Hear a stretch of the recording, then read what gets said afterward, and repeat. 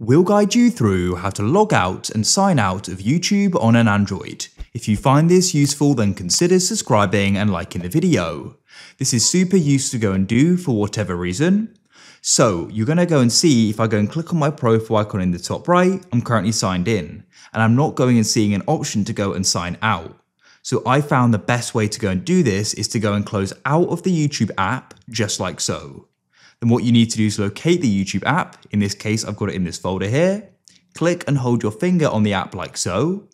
You'll get this pop up and go to the top right and click on the little eye icon. This will open up app info. And then all you need to do is go and scroll down and find the option for storage, then go to the bottom left and click on clear data. You can confirm your decision. It's loading and we can see our accounts here, but you can just press the back button and you can then go and accept or reject. And that's it. You'll go and see we're signed out. If you found this useful, then please consider subscribing and liking the video.